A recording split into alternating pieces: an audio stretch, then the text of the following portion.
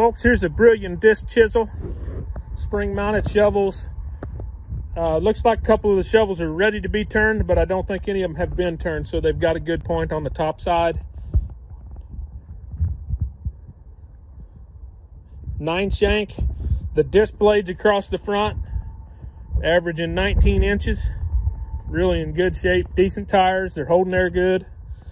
Um, biggest thing I would ever pick on on it is it looks to me like uh, a couple of the hoses, hydraulic hoses are starting to look a little rough. I don't see any welds or cracks.